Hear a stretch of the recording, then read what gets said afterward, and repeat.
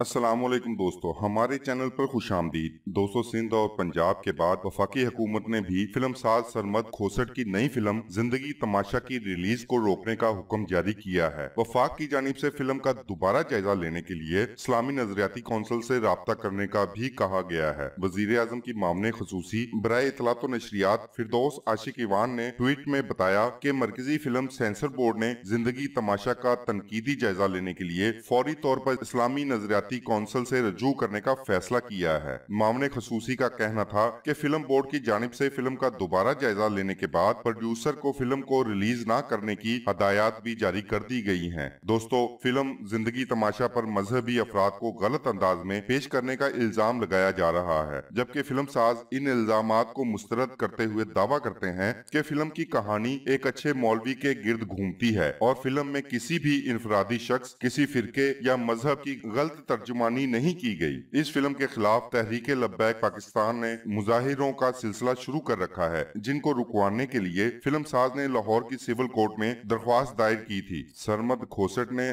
درخواست میں عدالت کو بتایا ہے کہ تحریک لبیک پاکستان نے ان کی فلم زندگی تماشا کی ریلیز روکنے کی کال دے دی ہے اور مذکورہ تنظیم کے کارکنان ان کے خلاف مسلسل مظاہرے کر رہے ہیں۔ انہیں دھمکیاں دی جا رہی ہیں اور ان کی فلم پر غلط الزامات بھی لگائے جا رہے ہیں۔ جبکہ فلم کسی بھی انفرادی شخص یا کسی بھی تنظیم یا فرقے کے خلاف نہیں ہے، بلکہ یہ معاشرے کو بہتر بنانے کے موضوع پر بنائی گئی ہے۔ درخواست میں عدالت سے استدا کی گئی ہے کہ فلم کے خلاف ہونے والے مظاہروں کو روکا جائے، جس پر عدالت نے تمام فریقین سے جواب طلب کیا تھا۔ تاہم، اس دوران حکومت کو صورتحال سے آگاہی ہو گئی اور نقص امن کے خدشات کے تحت زندگی تماشا کی ریلیز کو روک دیا گیا۔ دوستو، پنجاب کے محکمہ اطلاعات نے فلم ساز سرمت کھوسٹ کو ایک نوٹس جاری کرتے ہوئے ہدایت کی ہے کہ وہ زندگی تماشا کو ریلیز نہ کریں اور صوبائی حکومت کی جائزہ ٹیم کو فلم دکھانے کا انتظام کرے۔ صوبائی حکومت کے مطابق جائزہ کمیٹی زندگی تماشا کا دوبارہ جائزہ لے کر اسے ریلیز کرنے یا نہ کرنے سے متعلق فیصلہ سنائے گی۔ تاہم، تب تک فلم کو سینما گھروں میں ریلیز نہ کیا جائے۔ ادھر سندھ فلم سینسر بورڈ کی جانب سے جاری بیان میں کہا گیا ہے کہ فلم کے متنازع مواد سے متعلق کئی شکایات موصول ہوئی تھیں اور سینسر بورڈ سمجھتا ہے کہ فلم کا مواد دوسروں کے لیے دل